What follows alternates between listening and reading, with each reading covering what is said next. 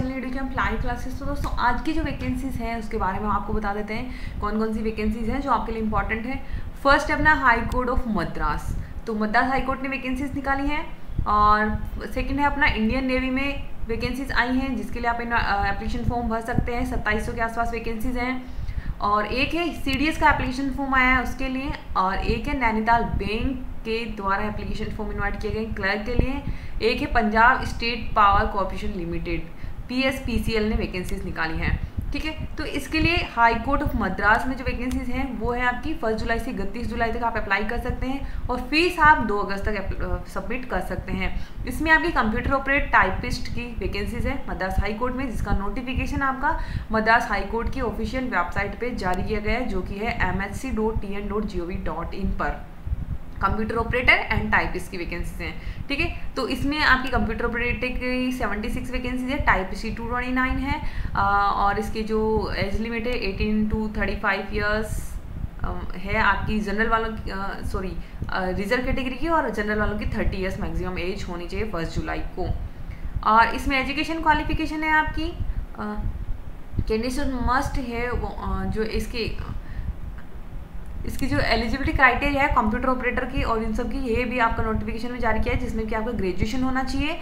Computer science और computer application में अगर आपने ग्रेजुएशन कर रखा है तो आप इसके लिए आवेदन कर सकते हैं कंप्यूटर ऑपरेटर के लिए। टाइपिस्ट के लिए आप in graduation in science arts commerce किसी में भी अगर आपने ग्रेजुएशन कर रखा है तो आप इसके लिए आवेदन कर सकते हैं।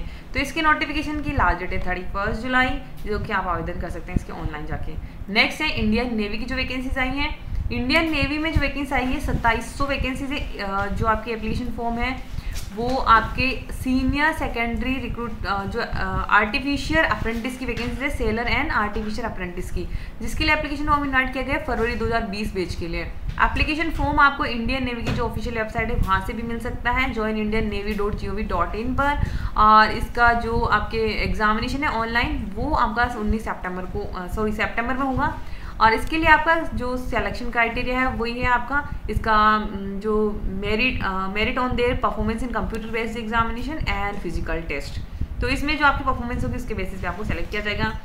ट्वेल्थ पास कैंडिडेट्स के लिए आवेदन कर सकते हैं इसकी ऑफिशियल वेबसाइट पे, जो कि है आपकी 10 जुलाई इसकी लास्ट डेट है। 10 जुलाई तक आप इसके लिए आवेदन कर सकते हैं। सत्ताईस पोस्ट है, इंडियन नेवी में सेलर की।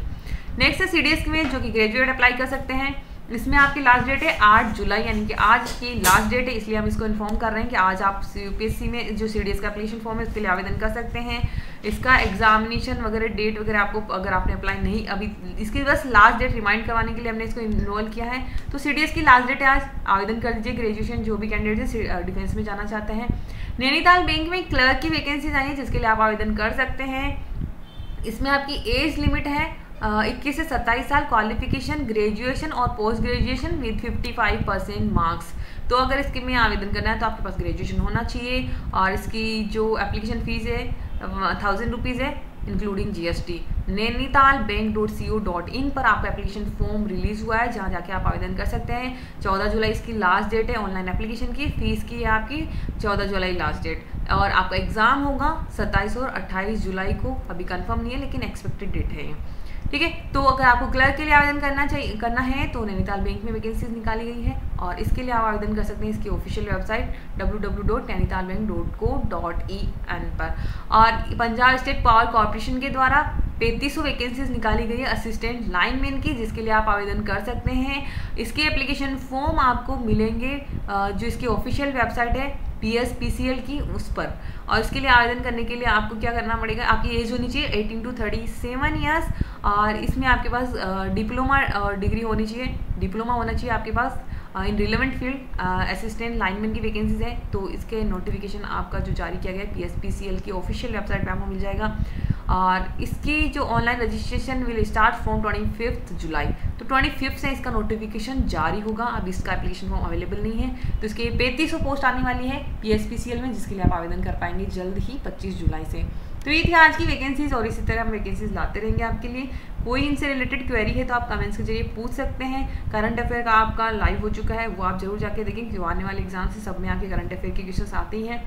और कोई भी क्वेरी तो आप पूछ ली, पूछ सकते हैं कमेंट्स के